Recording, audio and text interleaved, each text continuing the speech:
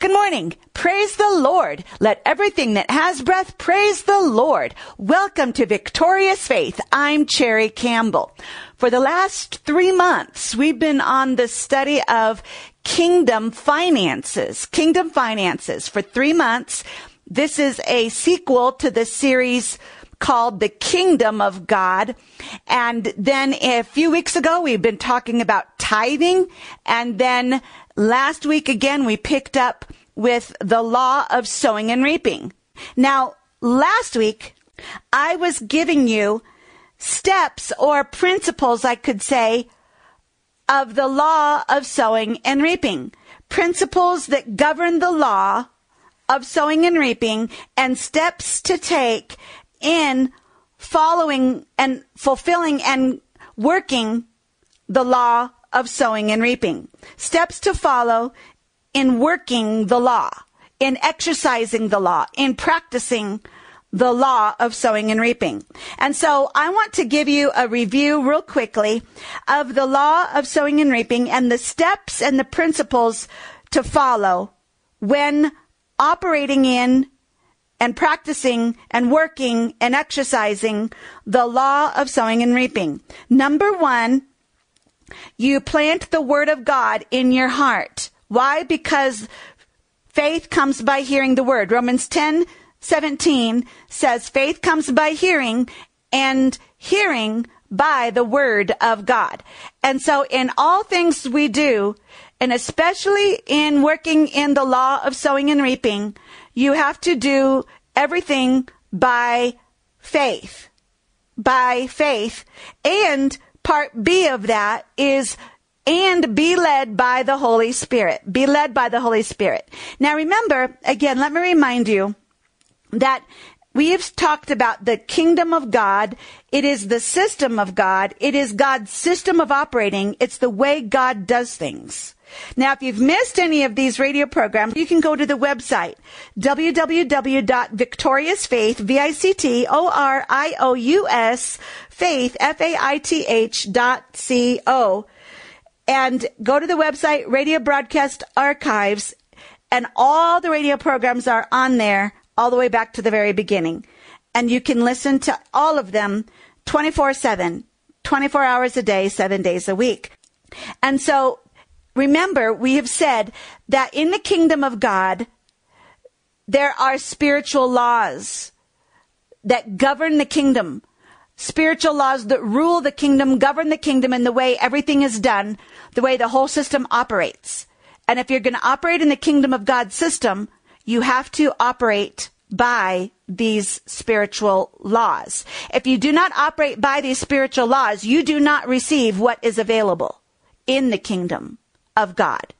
These spiritual laws are a must. This is the way God does everything that he does. And so I've given to you what I call seven primary spiritual laws. There are others, but these are primary, and the others would all relate to these seven primary laws. And so we have one, the spiritual law of love, two, the law of faith, three, the law of the creative power of words, four is the law of sowing and reaping, five is the law of spiritual authority, or dominion to rule. Six is the law of wisdom. That is being led by the Holy Spirit because the Holy Spirit is the spirit of wisdom. Doing what the Holy Spirit says.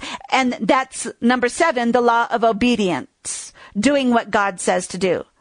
The law of obedience. And these seven laws are interrelated and interdependent. They all operate dependent upon one another, related to one another. You cannot pull one out and operate it alone.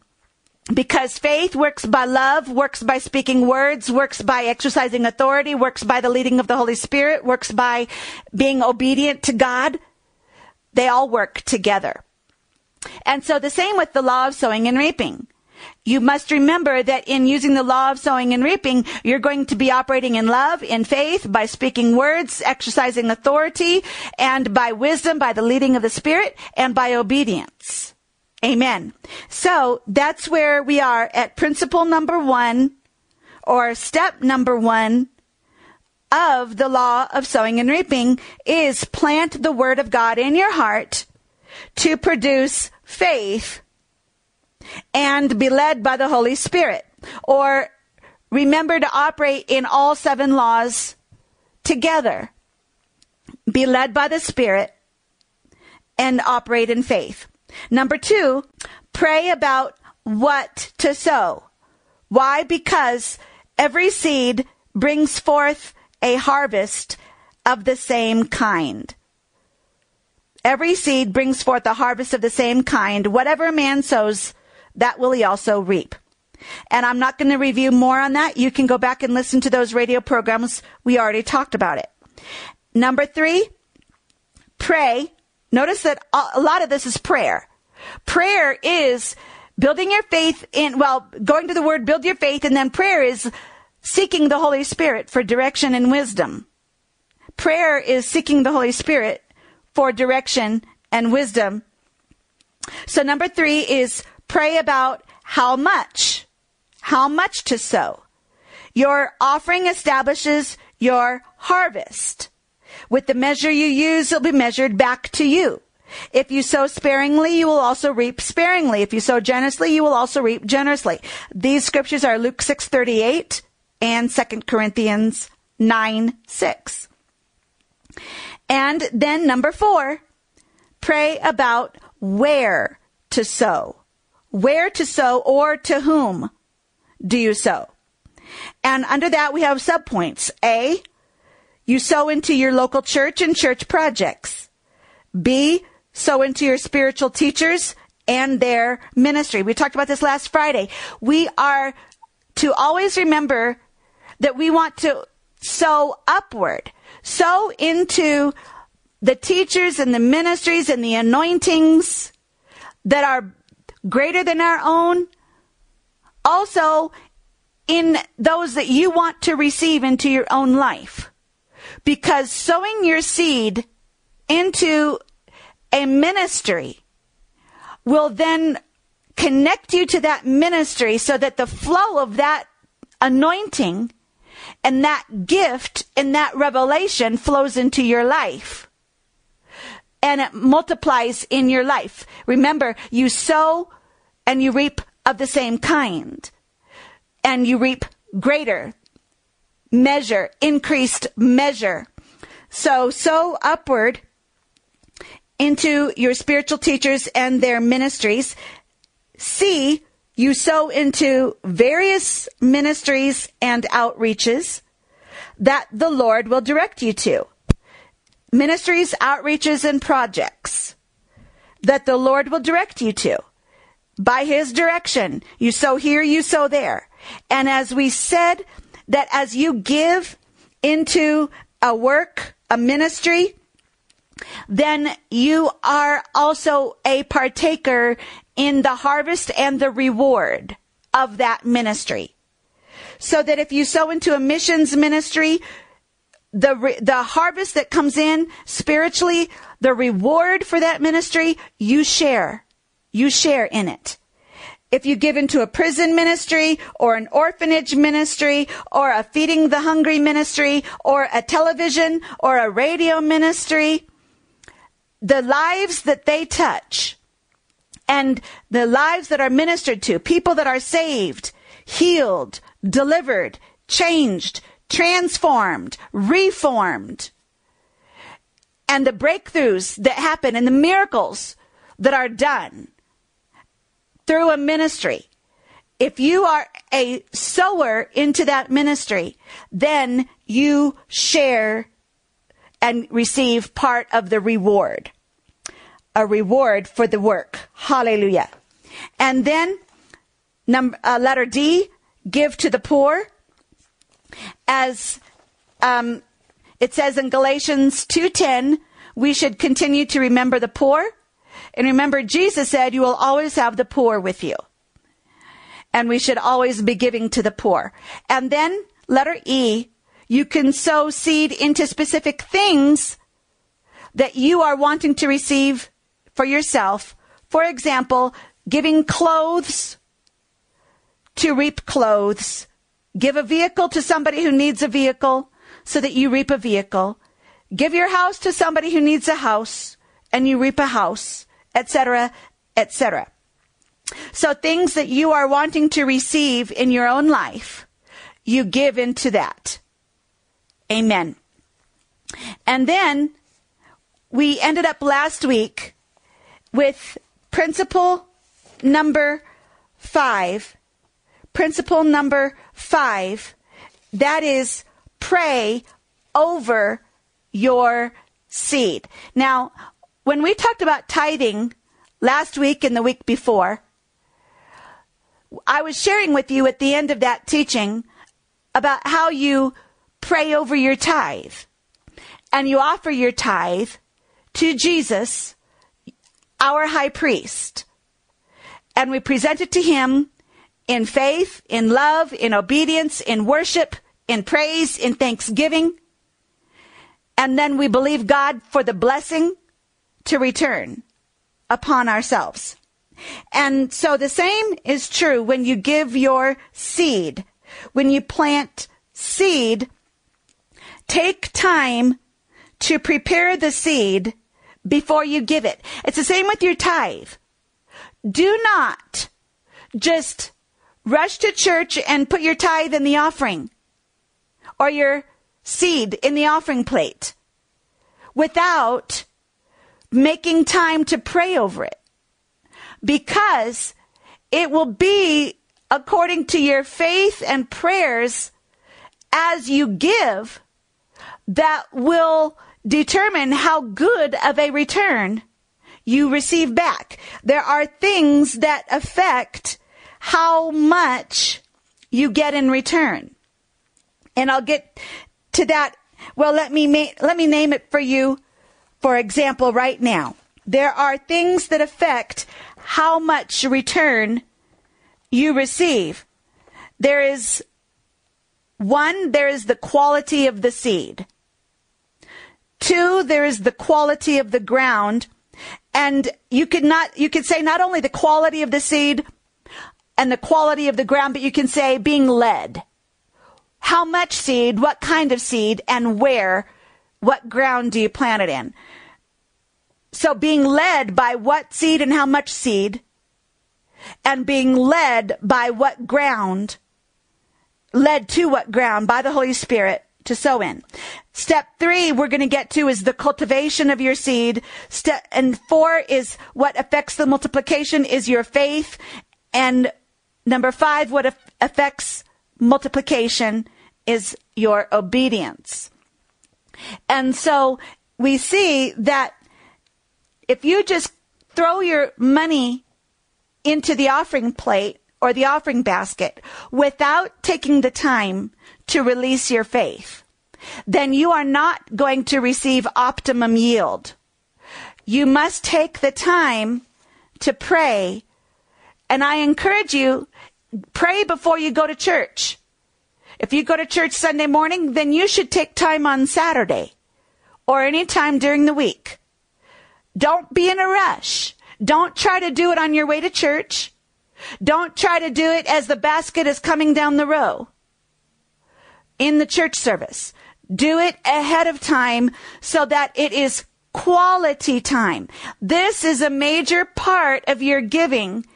It's your faith and your prayer and your declaration, your words that you release when you give or what words that you release over the tithe and over the seed that determines how much of a harvest you will get in return.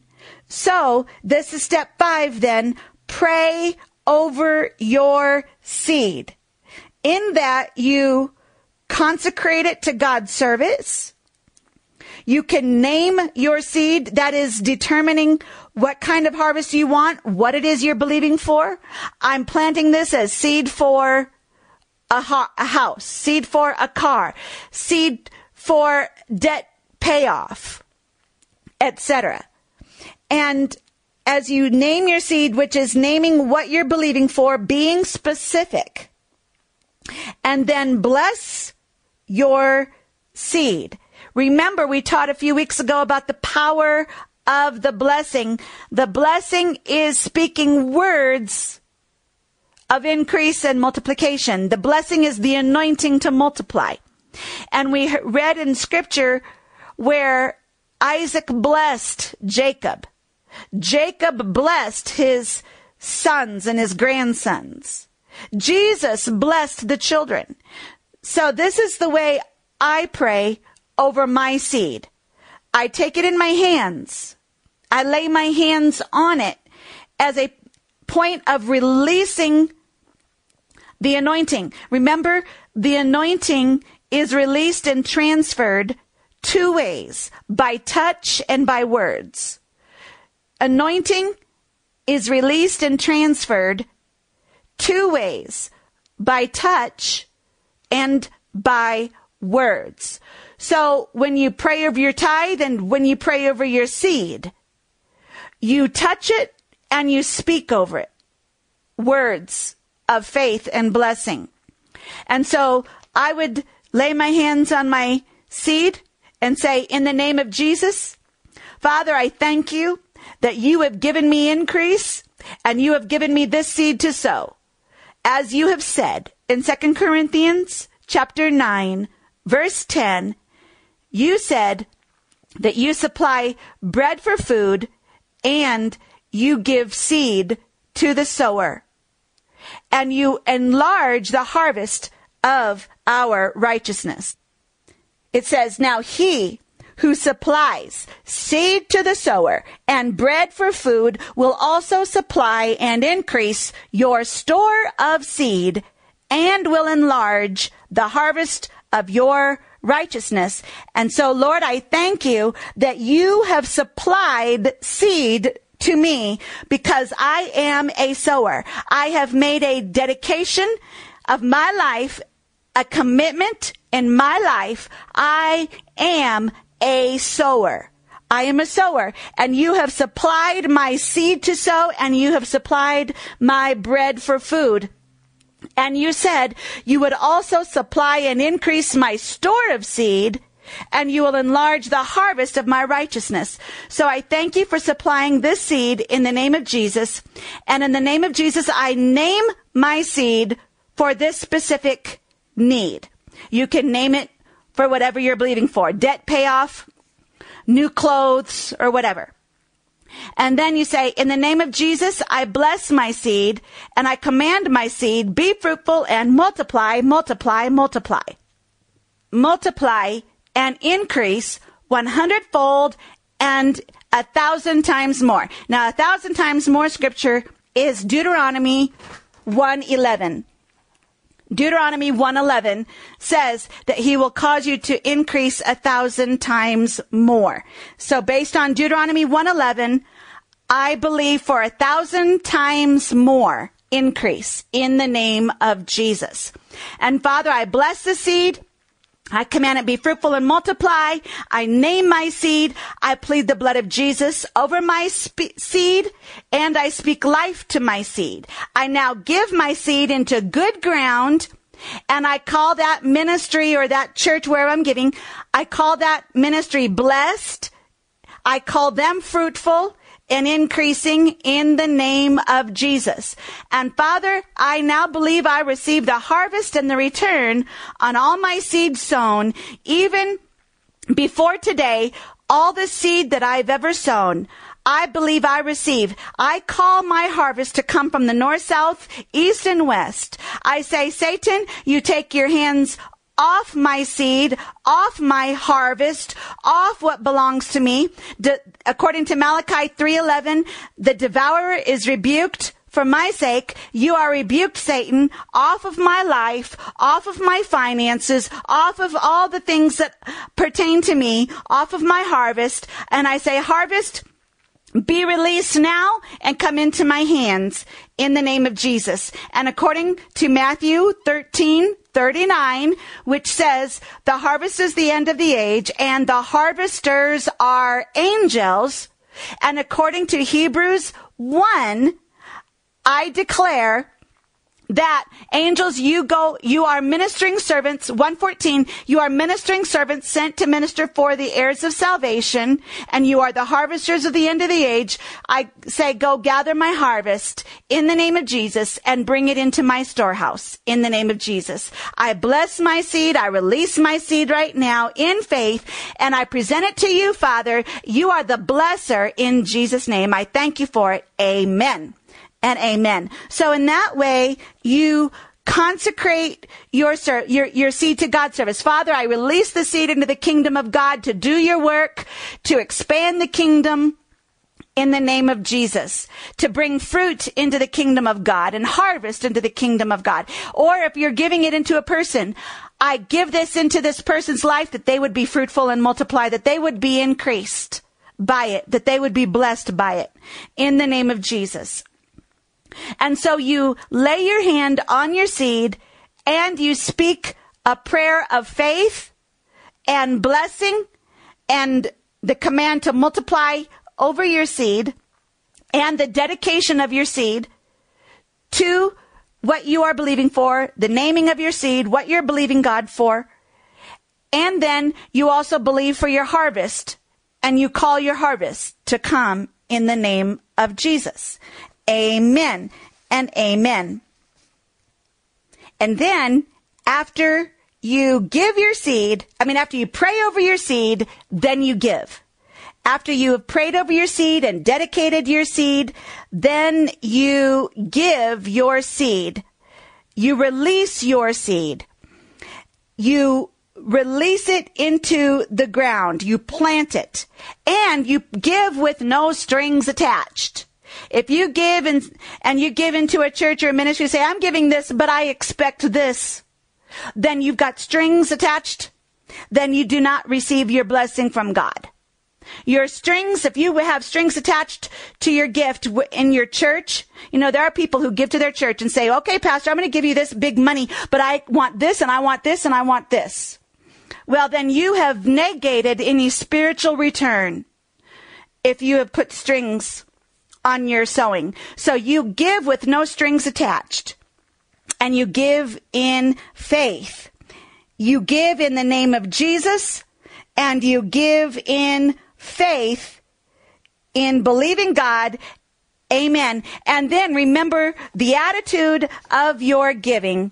You give in love. God so loved the world that he gave. We should give out of the heart of love. Also, we give to honor the Lord.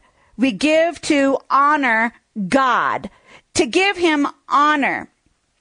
And three, you give willingly, not under compulsion or reluctantly. Four, you give cheerfully, joyfully, for God loves a cheerful giver. Five, you give freely. As Jesus said in Matthew 10, 8, freely you have received, freely give. Six, you give generously. You give generously. And seven, you give in faith. And then eight, you give in your gift to accomplish God's will and purposes in the earth for God's kingdom to come and his will be done on earth as it is in heaven. And don't forget the principle of first, the principle of first. And we talked about that early on in this series, Kingdom Finances, where we read Matthew 6:33 which says, "Seek ye first the kingdom of God and his righteousness, and all these things shall be added unto you as well." And many people forget to put God first. They try to pay their bills first. They buy their groceries first. They take care of the kids first. And then they see what they have left over when they go to church and they pull out a little bit and put it in the offering. And we also studied the Cain and Abel offerings and we saw that the real reason why God rejected Cain's offering was because Cain's offering was last and not first. Abel's offering was the firstborn and the best. And God is not on, honored by last offerings or leftover offerings after you take care of yourself.